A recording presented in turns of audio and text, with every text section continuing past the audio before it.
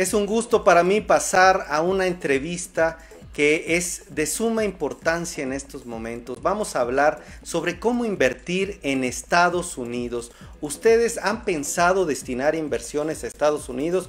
Bueno, vamos aquí a hablar hoy con Luis Mendoza, el director de Mendoza y asociados de Century 21 Award, y vamos a hablar sobre claves a tomar en cuenta para invertir en bienes inmuebles. Muy buenas tardes, Luis, ¿me escuchas? Sí, muy bien, Miguel, muy buenas tardes, ¿cómo estás? Muy bien, bienvenido a Ideas de Negocios. Pues estábamos hablando de temas financieros y qué bueno que ahora nos acompañas porque primero platícame un poco qué hacen, qué han hecho por más de 16 años ahí en esta compañía que tienes, en esta consultora de negocios, qué es un poco lo que hacen a qué se dedican para después pasar a preguntas más directas. Sí, mira Miguel, básicamente estamos, es una empresa inmobiliaria, pero somos nuestro nicho es bilingüe y bicultural. Entonces nosotros tenemos negocio en México y en Estados Unidos. Apoyamos a gente de México que quiere comprar en Estados Unidos y americanos que quieren comprar en México.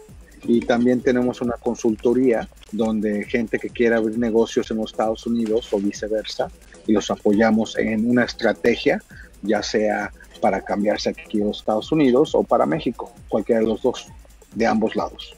Excelente, entonces me gustaría preguntarte en ese sentido, ¿cuál es, más bien primero, conviene o no conviene en este momento diversificarse, salir a otro mercado y adquirir un bien como es en Estados Unidos? ¿Cuáles serían las razones que podrían impulsar un sí y cuáles podrían ser las de no, mi estimado Luis? Mira, Miguel, ahorita increíblemente con COVID, con la pandemia, no sabíamos qué iba a pasar en marzo. Pero te voy a dar un ejemplo. En San Diego, California, desde marzo de este año 2020, la plusvalía de las propiedades han subido 22%. 22%. Y la razón, una de las primeras razones, como dices, la primera razón es por la tasa de interés. La tasa de interés ahorita está como un promedio de 2.5% para una, hipoteca de 30 años. Entonces, eso se hace atractivo para cualquier inversionista, ya sea este, americano o mexicano, extranjero que quieran este, venir acá. También a, lo otro, la otra cosa que está ayudando con la pandemia es que mucha gente está buscando su, están creciendo, uh, están buscando una casa más grande, ¿no? Una casa donde, oye, si nos vamos a quedar en la pandemia en nuestra casa, pues hay que eh, comprar algo más grande. Entonces, esto está creando crecimiento en el mercado, un crecimiento que no, no, esperábamos durante este tiempo. Y la tercera, claro, son los beneficios como mexicano extranjero comprar en los Estados Unidos.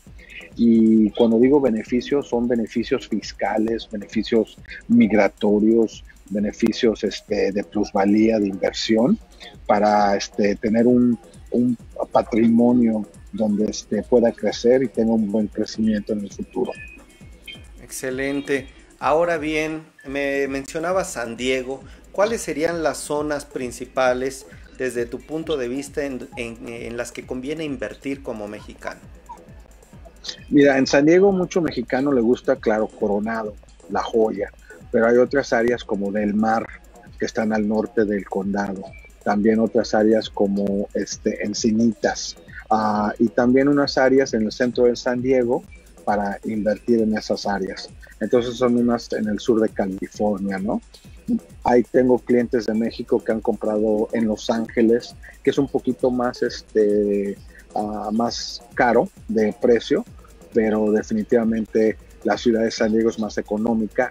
Y la razón que mucha gente le gusta San Diego es porque estamos en la frontera y tenemos al CBX que puedes cruzar para el aeropuerto de Tijuana, rápido, sin problemas, y mucha gente le gusta ah, viajar y estar en 20 minutos del centro de San Diego, del aeropuerto de Tijuana, cruzando CBX. Hay algunas zonas, además de este sur de California, en donde nos recomiendes, por ejemplo, Miami. Ahí también has tenido clientes u otros eh, en general de Estados Unidos. Sí, mira, las áreas que el, cliente mexicano le, gusta ver es Florida, Miami, Tampa, Orlando, este, Texas, en Houston, San Antonio está creciendo mucho ahorita, Austin, Texas, también gente Las Vegas, Nevada, Nevada ha tenido, Las Vegas ha tenido un crecimiento increíble ahora que tienen este, el equipo de los Raiders que acaban de este, cambiarse ahí para fútbol americano. Entonces la ciudad ha crecido en una situación que no nomás es de para viajar, pero es una ciudad metropolitana que está creciendo. Y California y el otro Nueva York. Ahora, otros clientes mexicanos ya están, están viendo otras áreas como Alabama, Tennessee, y Carolina del Norte y Georgia que están creciendo y que están más este un precio más económico con crecimiento este para el futuro. Muy bien. Ahora hablando de precios y del proceso, ¿cuánto rondan? Eh, sé que es muy diferente, pues, eh, y los rangos de precios pueden variar dependiendo de cada bien pero si nos pudieras dar un rango, el más económico, algo medio y algo en un escenario o un bien que sea ya eh, más de lujo, ¿cuánto rondarían los precios? Y bueno, ahorita te hago otra pregunta. Sí, claro. Este, mira, en Texas, por ejemplo, en Houston, eh, tu promedio es 180 mil dólares por una propiedad. ¿okay? En San Diego, tu promedio es 750 mil dólares de promedio de venta y en Los Ángeles estás casi a un millón de dólares por el mismo tipo de casa, tres recámaras, dos baños, 1500 pies cuadrados, ¿no? De lujo, estamos viendo a Venice Beach, por ejemplo, a un cliente mío de México que compró de 3.2 millones de dólares una propiedad en esa área. Entonces esos precios, porque es Hollywood y eso, están está como a 300 mil dólares. Y todos tienen diferentes beneficios fiscales de prediales, que es lo bueno. Texas es más barato ah, para el, predial, California es más caro por el predial y todos tienen diferentes beneficios. Muy bien, creo que es interesante todo esto que nos planteas. Ahora, el proceso, cuáles, eh, además de acercarnos a ustedes, si me puedes recordar tu página web, ustedes también decirnos en qué asesoran, cuál es como su expertise. También si me puedes detallar el proceso una vez que se toma o se busca analizar, se toma la decisión, qué características eh, o más bien exigencias nos pone Estados Unidos en cuanto a papeleo, en fin. Mira, este, nuestra página de redes es mendozarealtygroup.com y en esa página este, te damos una buena idea cómo te podemos asesorar. Nosotros apoyamos a los clientes mexicanos desde el principio. Ya sabes que Luis, estoy interesado en comprar allá y vemos, le hacemos un estudio en cómo nos podemos ayudar este, para comprar una propiedad, para la situación migratoria, si quieren abrir un negocio acá, dependiendo de lo que quieren hacer, ¿no? Y también es, este, si quieren sacar una hipoteca, Estamos buscando 35% de enganche, no nosotros, pero unos bancos que trabajamos con gente extranjera. Lo bueno que en Estados Unidos es puedes comprar sin este con nomás con tener la visa de turista. No tienes que tener papeles este, de tarjeta verde o ser ciudadano o cualquiera de esas cosas. Básicamente este, puedes hacerlo así, no como en México necesitamos un fideicomiso como extranjeros, ¿no? Pero en Estados Unidos puedes hacer eso. Y vemos el estudio viendo basado en lo que estás este el ingreso si hay, ah, si hay empresa americana si hay empresa mexicana si estamos manejando cosas en pesos cómo cambiarlas a bancas privadas diferentes maneras de poder manejarlo y hacemos la estrategia. Todo es acerca de estrategia en lo que quiere el cliente. Muy bien para alguien mi estimado Luis Mendoza, director de Mendoza y Asociados de Century 21 Awards, me gustaría preguntarte, eh, alguien que dice, bueno, tal vez a mediano, largo plazo estamos interesados. Ay, perdón, veo que Marta Claudia nos está diciendo saludos, Luis. Gracias a quien ha escrito comentarios, Silvia Sierra, Janet Velázquez, Marco Antonio, gracias. ¿Quién más anda por ahí? Veo a varios conectados. Pónganme ahí, aunque sea el número uno, para saber que están aquí, saludarlos. Y Luis, me gustaría preguntarte, eh, si alguien a mediano o largo plazo tiene este objetivo, ¿qué le recomiendas que puede? Digo, además de juntar el 35%, que esta, que, que digo, para una vivienda de 750 mil dólares, que es lo que tú nos planteabas en San Diego, en promedio, que serían pesos cuánto, Luis? Serían pesos unos, que te diré? Casi 10 millones, 12 millones de dólares, pesos, perdón. 10, 12 millones de pesos, bueno, el 35% prácticamente de eso con, para el enganche. ¿Les podrías también dar algunos tips, no sé, tener alguna cuenta por allá? Nos dices que con solo la visa, bueno, es eh, ya con eso tienes eh, el avance, pero no sé si tuvieras otras recomendaciones. Recomendaciones como trabajar con bancos que están en ambos lados, por ejemplo, Banco Santander tiene una banca privada en San Diego y en Estados Unidos, o BBVA que tienen este, un banco acá que se llama Compass. Empezar con esas cosas pequeñas que básicamente le digo al cliente, hay que transferir este, cuentas bancarias con bancos que son internacionales, ¿no? Y así empiezan a ya crear un tipo de crédito, un tipo de, este, de ah, historial para invertir internacionalmente. Muy bien, fíjate que ahí una duda que también me gustaría que nos aclararas es que algunas veces los bancos mexicanos nos dan esta opción de ahorrar en dólares y eh, tener bancos como HCBC, en fin, te dan esta opción de tener tanto pesos como dólares. Ahí tú qué recomendarías? Sí tomar a estos bancos, pero siempre y cuando tengan presencia en Estados Unidos o tengan alguna, o este, sí abrir de plano una cuenta allá en Estados Unidos para empezar a hacer crédito por allá.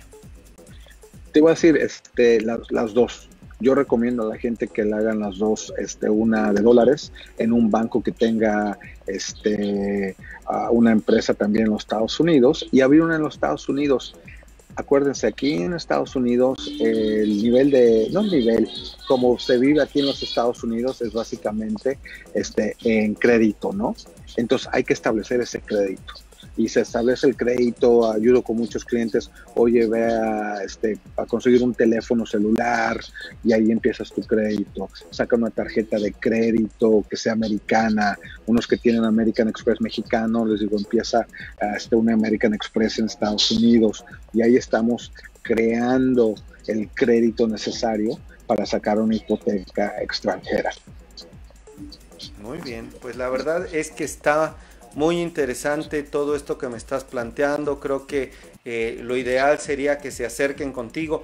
¿Cuánto rondan eh, las asesorías, Luis? ¿Cuál es el rango de precios para podernos acercar con ustedes? ¿Cuánto tiempo nos llevaría? Y en fin, algunos detalles de tu modelo de negocio. Mira, el promedio del cliente que si empezamos hoy y vamos agresivos, yo digo que en tres, cuatro meses ya podemos hacer algo para cerrar una transacción acá. Este, para este, mis ingresos, eh, lo bueno, esas son las noticias buenas, que aquí el cliente que estamos comprando, el el cliente que está vendiendo, paga mis honorarios. Si hago otras cosas ah, de asesoría, entonces cobro por hora otras cosas extras que no sean de la parte de los inmuebles. Muy bien, entonces sería contactarlos, ver cuál sería como la, la, necesidad que tiene cada persona y con base en eso ya sea con asesoría o tal vez ya entrar en un proceso en donde pues prácticamente queda pagado con lo con la empresa que vende el bien inmueble. Pues muy interesante, algo más que quisieras agregar eh, sobre estas claves para invertir en estos bienes en Estados Unidos? Ah, yo, mira, siempre tengo un dicho, hay que comprar este, abrigos en el verano. Y ahorita yo lo veo como el verano. Básicamente hay una buena oportunidad aquí en los Estados Unidos para hacer crecimiento en el futuro, especialmente con las inyecciones económicas que están dando los, el gobierno federal. Y la otra también los este, les recomiendo también pueden visitar mi blog que tengo lo hago diario acerca del sistema uh, macroeconómico y microeconómico inmobiliario de Estados Unidos. Y este se llama es este, la página de redes bienes raíces latino.com bienes raíces latino.com ahí hasta doy una uh, una revista gratis uh, donde te dice el proceso de cómo comprar una propiedad en los Estados Unidos. Muy bien bienes raíces latinos.com para todos los que nos están viendo, que vean la repetición o el podcast, lo estén escuchando, bienes raíces latinos.com, en ese blog los podemos. Recuérdame tu página, Luis, que está medio complicada, a ver. Es una más fácil. Luis Mendoza and Associates, como asociados. Luis Mendoza and Associates.com. .com. Excelente. Pues la verdad es un gusto, gracias por compartir este conocimiento, esta información, por creo que es clave esta oportunidad que hay, que es momento para cuando vemos los precios de esta manera, bueno, aquellos que estén preparados, que nos estén viendo, es una excelente oportunidad de inversión. Y bueno, de la mano con alguien que ya lleva, tengo aquí más de 16 años, ¿verdad Luis? La experiencia que ya tiene. Ya tengo 20, voy a tener 20 en abril de este año que viene. No, bueno, me quedé corto. Pues muy bien, Luis Mendoza, director de Mendoza y Asociados de Century 21 Awards, muchas gracias por esta entrevista. Muchas gracias, Miguel. Que tengas buen día. Buen día. Adiós.